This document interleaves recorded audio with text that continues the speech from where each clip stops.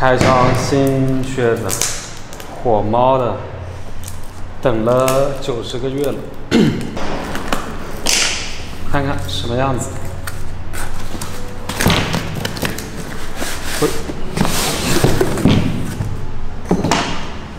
送的一双布鞋，竟然是灯芯绒的布鞋，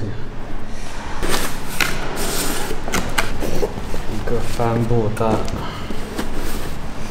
这次订的是霍文的马皮，黑色马皮，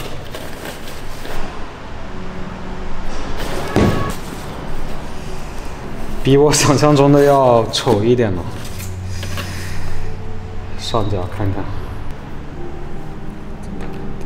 火猫这双拳击靴，我等了九个多月，这个时间真的蛮难熬的啊！要不是我靴子多，我可能真的有点等不住啊。九个多月，其实也没什么好说的，因为你买之前他就告知你要等很久，然后产量有限啊，就说白了，一个愿打一个愿挨嘛。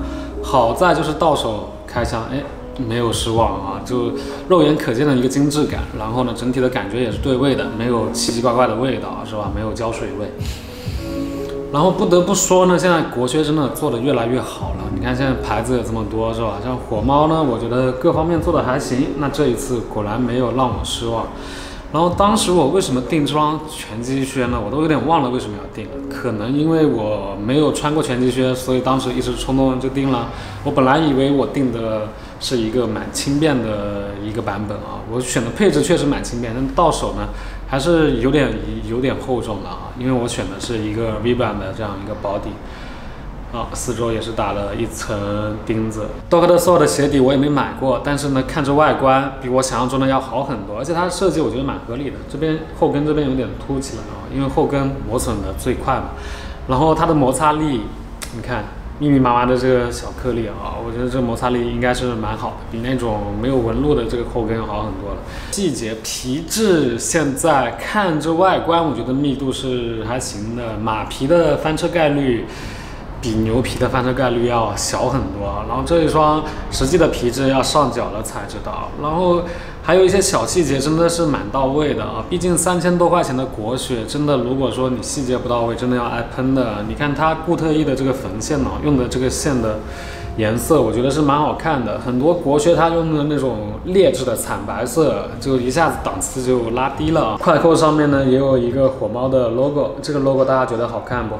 然后你能看到这个鞋舌这一块块的材质，明显是要软一点的。这个材质是不是马皮呢？我就有点不太清楚了。觉得对皮质的这个要求蛮高的，因为它裁片少，不像我之前那个牛津，哎，很多很多片裁片拼起来一双的。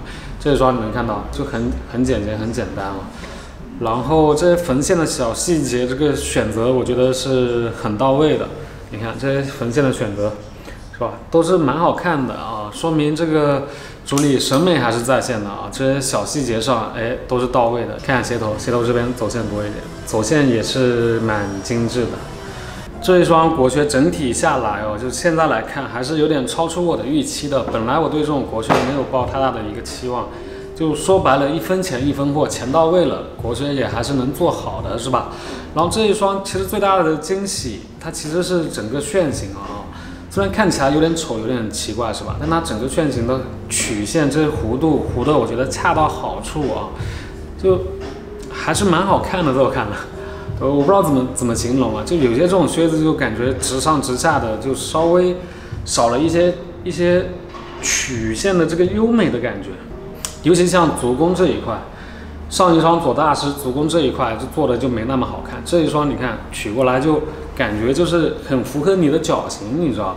但是这种鞋呃靴子，我觉得脚背高的人绝对是穿不了的。你看这造型你就知道，是吧？那鞋头这么扁，我的脚没那么胖，像这种头有点扁的，我觉得我应该能驾驭得住吧。好，有关其他细节啊，一些皮料啊，我们到时候呃穿个一个星期之后再聊。